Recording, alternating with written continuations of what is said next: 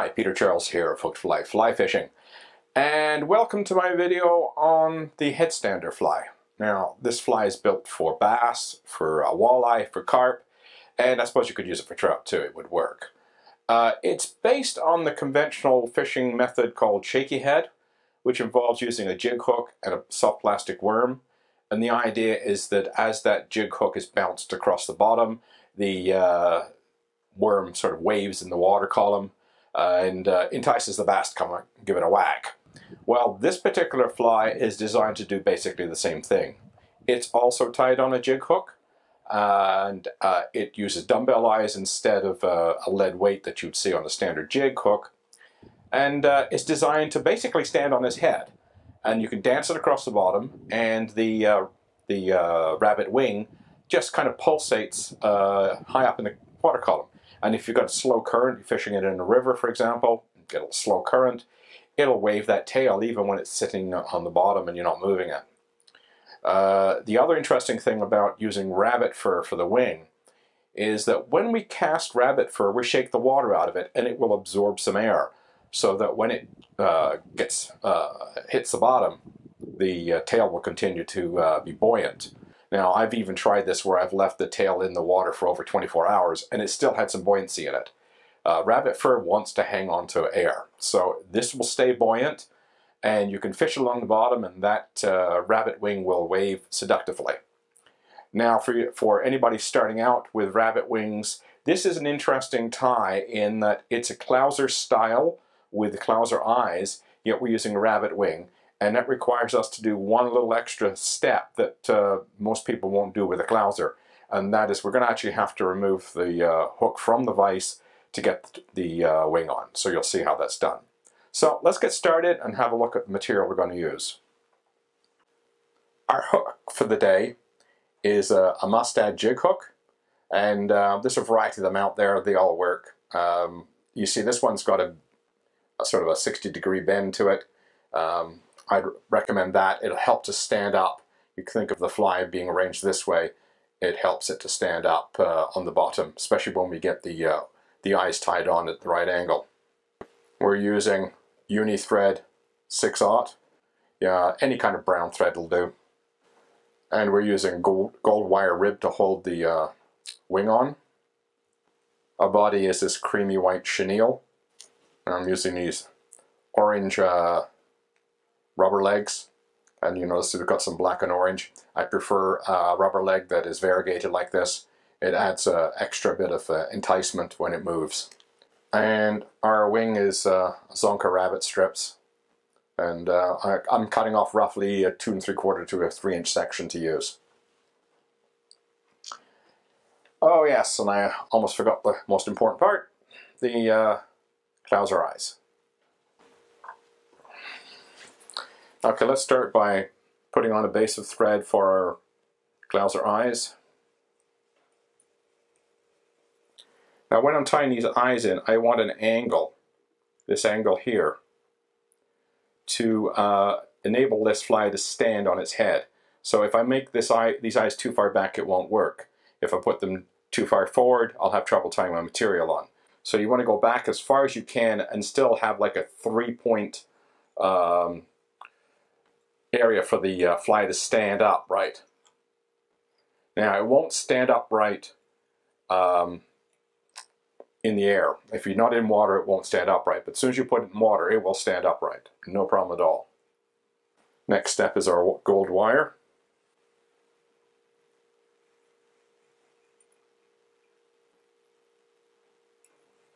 And just wind that back. Now there's another important part of this fly is you keep going part of the way around the bend. And you'll see why when we tie the wing on. If I don't go around the bend like this, when you tie the wing on, the wing will start to tuck around the bend of the hook. And that causes problems. When you Then when you pull it through the water, it wants to roll. So this going around the bend ensures that the wing stays on straight. And you'll see that when we get to that point and tie it in. Next step is to tie in our chenille.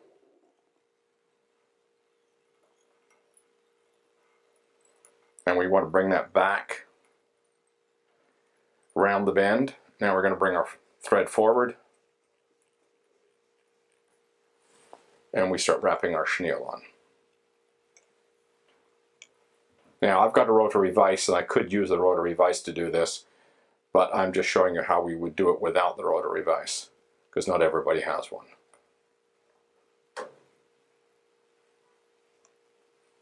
Now I'm leaving a little bit of a gap here because that's where our rubber legs are going to go. Okay, so I'll put that in my material holder along with a wire. Next step is to put in our rubber legs. Now I've cut these rubber legs up. I'm using two per side. And what I'm going to do is just put that in there roughly at the same length. Put a couple of wraps in there. Straighten them out. Then I'll bring that one forward put some wraps behind it.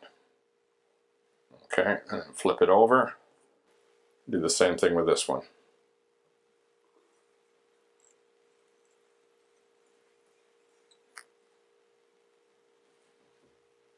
Now these do poke around quite a bit, that's alright. We're just going to get them tucked back. That fashion. There we go. Now just make sure you're, when you're doing that, it's very easy to move the eyes. So just check that they're straight. And we'll you'll see some of these will move around a little bit. We'll, we can fix those as we go. When you're tying on rubber legs, that's fairly common they move around. Now what we're going to do is we're going to take our chenille and we're going to wrap this on. But before I do that, I'm going to put a fair bit of glue on here. Helps to hold the rubber legs in place, holds the eyes in place.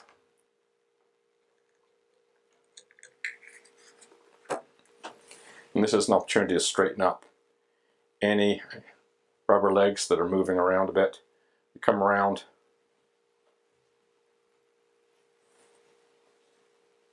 And now we tie that off.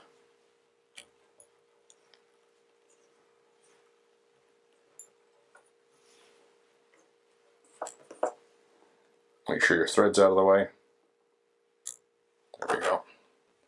I just clean that up a little bit. Now this one here, these are sticking up a bit, so I'll just pull them down. And when I put the uh, wing on, you'll see that that will stay in place. Now here's the tricky bit where we put our wing on. And this is an example of how to put a rabbit wing on when you're using a Clouser style fly.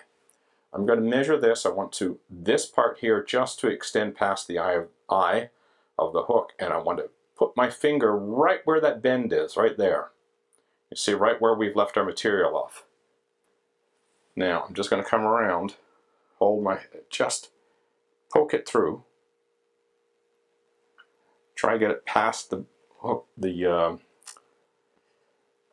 barb hook. Now we're going to take it off the vise, work it round, and put it back in the vise.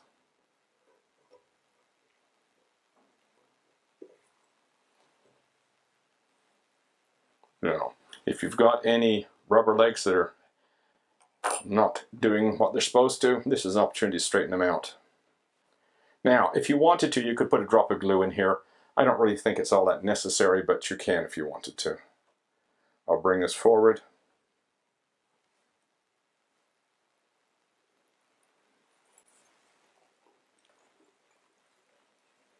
Now once it's started, it will shift around, so take the moment to put it back into position and then wrap.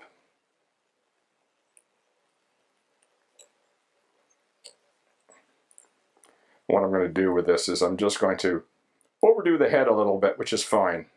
This is a bass fly, it's not meant to be pretty, so we can have a large head. It doesn't matter. Now, when everything's in place, I'll just clean that up a little bit. Now the last step is to use our wire rib. And I'm going to use my bodkin here to separate the hair and also to keep the rubber legs out of the way.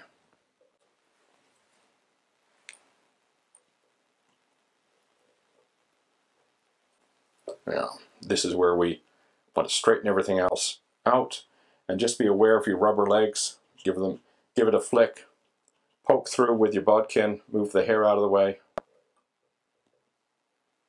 move the rubber legs out of the way.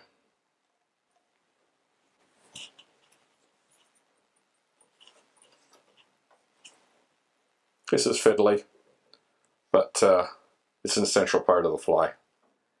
Take the moment to straighten it up, get the rubber legs out of the way. You can also turn it like this if you've got a rotary vise.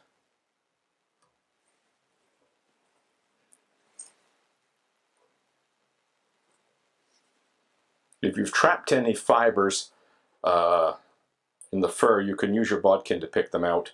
I always take a, a moment to stop and just check the alignment. Now I can wrap this around the front of these legs and the last bit goes in front of the eyes.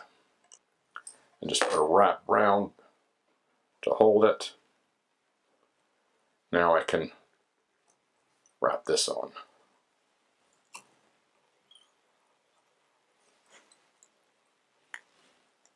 Now our final step is just to clean this up.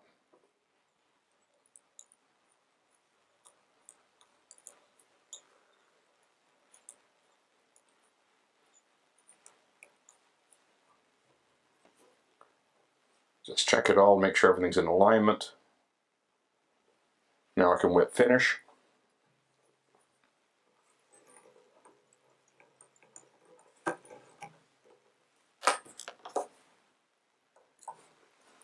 And the last step is I like to go through the fur and make sure that I haven't trapped too many uh, fibers. You just use your bodkin to pick them out.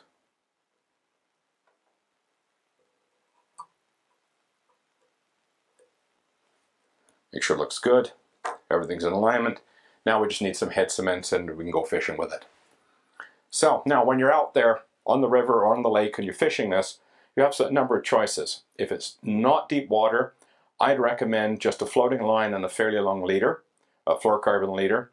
And what you're trying to do is make this fly jig in this fashion. Now, if you're uh, fishing deeper water, I'll look at using a sink tip rather than a full sinking line. Again, the sink tip will allow it to curve down. So when you pull back up, the fly rises, then it drops. Also, if uh, it is able to sit in current, if the current's slow and you're able to let it sit for a moment, that tail will, or that wing I should say, will wave seductively in the water, even when it's sitting still. So you could use a stop and start method to fish this as well. So give it a try, give it different methods of fishing. Um, try it fast, try it slow, try it straight retrieve, try it a jigged retrieve. It'll fish a number of different ways. And if you fish it right along the bottom, you have a good shot at catfish, carp, as well as walleye and bass. And, you know, I'd give this a try for trout too. I think it would work. Anyway, get out there with it. It's called the headstander fly, and it works. Yeah, you'll have fun with it. Cheers.